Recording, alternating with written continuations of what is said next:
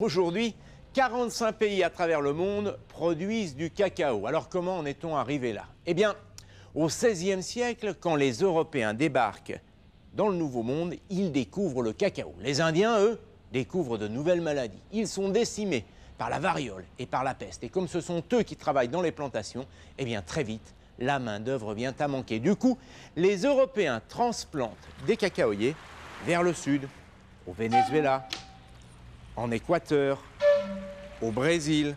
En Europe, on consomme de plus en plus de cacao. Il faut produire. Du coup, les cacaoyers sont embarqués sur des navires direction l'Asie, l'Indonésie, puis les Philippines.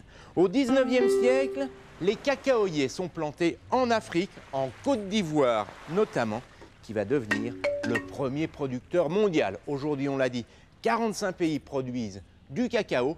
Ils sont tous situés dans une zone comprise entre le tropique du Cancer et le tropique du Capricorne.